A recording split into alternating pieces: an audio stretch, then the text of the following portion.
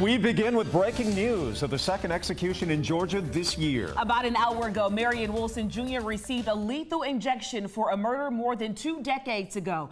At 9.52 p.m., he was put to death for the 1996 murder of off-duty prison guard Donovan Parks. 11 Alive's Jeremy Campbell was in the room at the state prison in Jackson when it happened.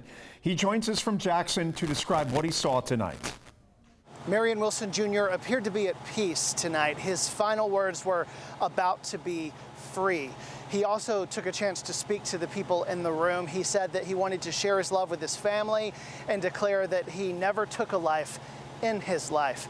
Sitting on the front row of that room was the family of Donovan Parks. That is the 25 year old killed in 1996 after meeting Wilson in a checkout line in Milledgeville.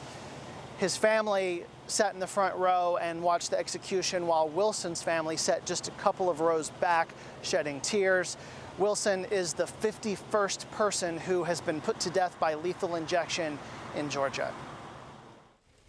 All right, thank you, Jeremy. You can follow along with live coverage from Jackson on 11alive.com or the all-new 11 Alive app. There you'll find a complete history of the case and more details from Jeremy's updates from